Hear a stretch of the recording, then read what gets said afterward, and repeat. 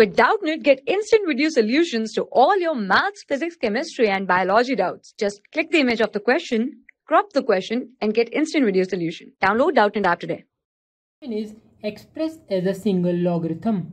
2 plus 1 by 2 log to the base 10 9 minus 2 log to the base 10 5. So first we will write the equation and named it as fx. So function fx is equals to 2 plus 1 by 2 log to the base 10 9 minus 2 log to the base 10 5 a property here that is a log to the base x b can be written as log to the base x b raised to the power a. So this property may apply here and here. So 2 plus log to the base 10 since 9 can be written as 3 square.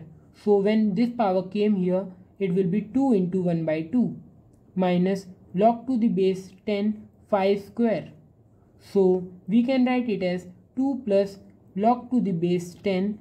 So this power cancelled out giving 3 minus log to the base 10 since 5 square will be 25. Now we know that log, uh, log to the base 10 100 can be written as log to the base 10 10 square. So when this happens so this power will come uh, in the front of the log.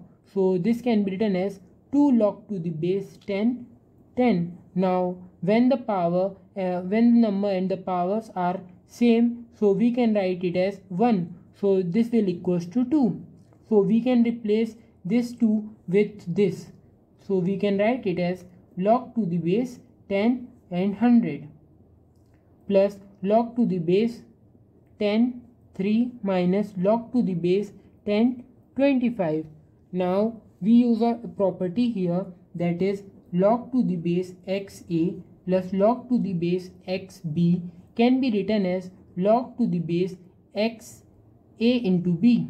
Similarly, another property is that log to the base xa minus log to the base xb can be written as log to the base x a by b.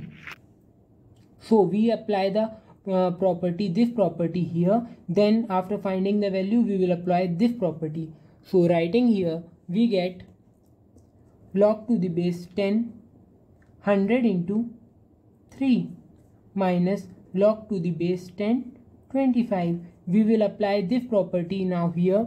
We get log to the base 10 100 into 3 by 25 so this 25 will cancel out 100 four times for 4 into 3 that is 12 so log to the base 10 12 so this equation has been represented as a single logarithm. This is our answer. Thank you.